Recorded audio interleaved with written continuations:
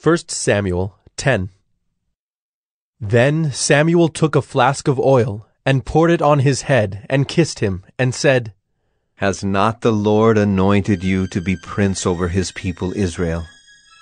And you shall reign over the people of the Lord, and you will save them from the hand of their surrounding enemies. And this shall be the sign to you that the Lord has anointed you to be prince over his heritage. When you depart from me today, you will meet two men by Rachel's tomb in the territory of Benjamin at Zelzah. And they will say to you, The donkeys that you went to seek are found, and now your father has ceased to care about the donkeys and is anxious about you, saying, What shall I do about my son? Then you shall go on from there farther and come to the oak of Tabor. Three men going up to God at Bethel will meet you there, one carrying three young goats, another carrying three loaves of bread, and another carrying a skin of wine. And they will greet you and give you two loaves of bread, which you shall accept from their hand. After that, you shall come to Gibeath Elohim, where there is a garrison of the Philistines. And there, as soon as you come to the city, you will meet a group of prophets coming down from the high place, with harp, tambourine, flute, and lyre before them, prophesying. Then the Spirit of the Lord will rush upon you, and you will prophesy with them, and be turned into another man. Now when these signs meet you, do what your hand finds to do, for God is with you. Then go down before me to Gilgal. Behold, I am coming to you to offer burnt offerings and to sacrifice peace offerings. Seven days you shall wait, until I come to you and show you what you shall do.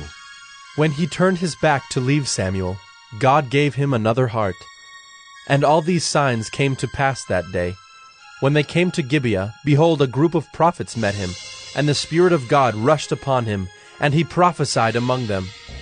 And when all who knew him previously saw how he prophesied with the prophets, the people said to one another, What has come over the son of Kish? Is Saul also among the prophets?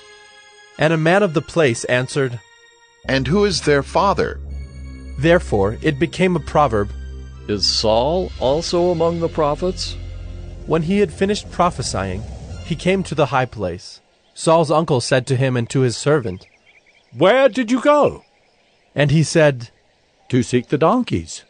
And when we saw they were not to be found, we went to Samuel.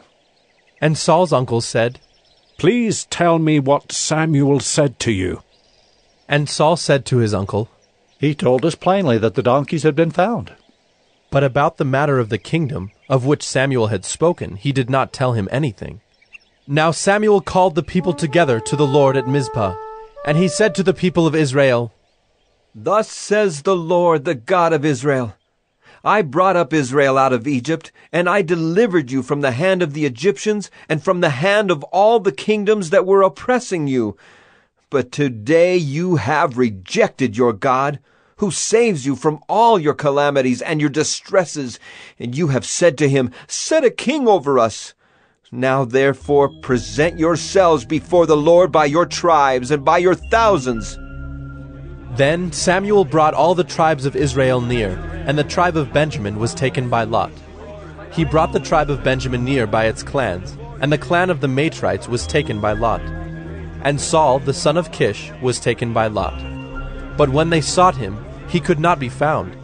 So they inquired again of the Lord, Is there a man still to come? And the Lord said, Behold, he has hidden himself among the baggage. Then they ran and took him from there. And when he stood among the people, he was taller than any of the people, from his shoulders upward. And Samuel said to all the people, Do you see him whom the Lord has chosen? There is none like him among all the people. And all the people shouted, Long live the king! Then Samuel told the people the rights and duties of the kingship, and he wrote them in a book and laid it up before the Lord. Then Samuel sent all the people away, each one to his home. Saul also went to his home at Gibeah, and with him went men of valor, whose hearts God had touched. But some worthless fellows said, How can this man save us? And they despised him and brought him no present. But he held his peace.